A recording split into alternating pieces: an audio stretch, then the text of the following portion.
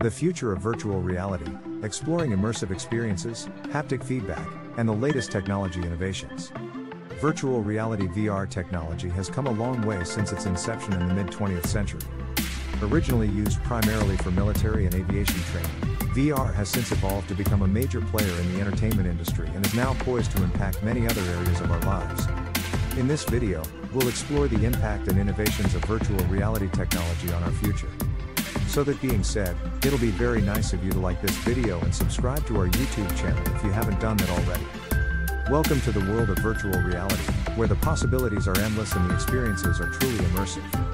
From gaming and entertainment to education and healthcare, virtual reality technology is revolutionizing the way we experience the world. Imagine being able to explore a historical site, travel to another country, or even visit outer space, all from the comfort of your own home.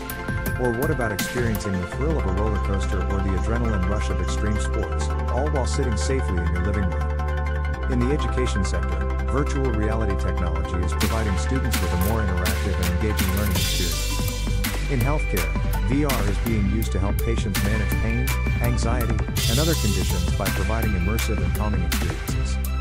One of the most exciting developments in virtual reality technology is the emergence of haptic feedback, which allows users to feel and touch virtual objects.